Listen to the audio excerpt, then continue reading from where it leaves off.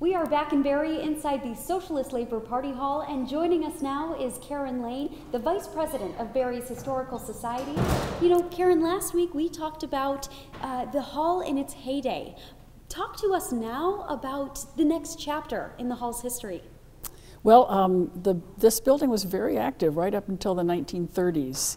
And as you might imagine, during the Great Depression, it was pretty hard to keep a co-op going in a big building like this. So Karen, tell us about the co-op that got started out of here. It turned out it was the first Italian uh, food co-op in New England and founded in 1911. It was a very popular place. People could come here and get all their favorite ethnic foods, particularly Italian um, cold cuts, cheeses, olives, olive oils that they loved from, from home.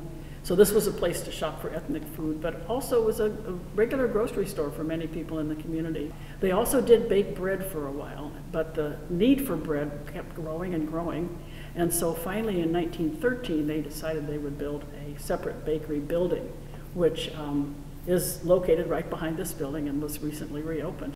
For the rest of its life until 1994, when we were afraid it was going to be demolished, and a group of us got together and sort of restarted the old Barre Historical Society, and we said we'd like to buy this building and save it.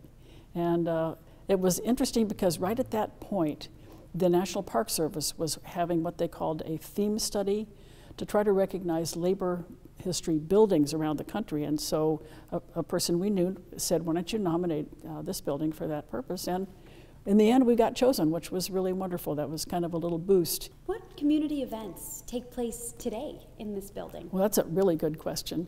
Well, it's used by the public for many personal family events, that sort of thing. Um, but we also have one major event that we like to have each year.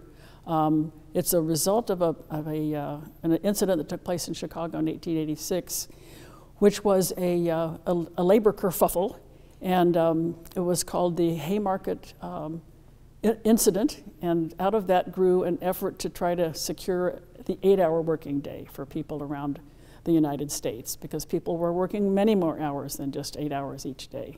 Oh, so every May, um, what can Vermonters here in Barre expect at this building every May, May 1st? Well, until the pandemic, we like to have a public event, usually a sit down dinner, and then sometimes a concert or a film. Uh, we've had several world premieres here as a part of May Day.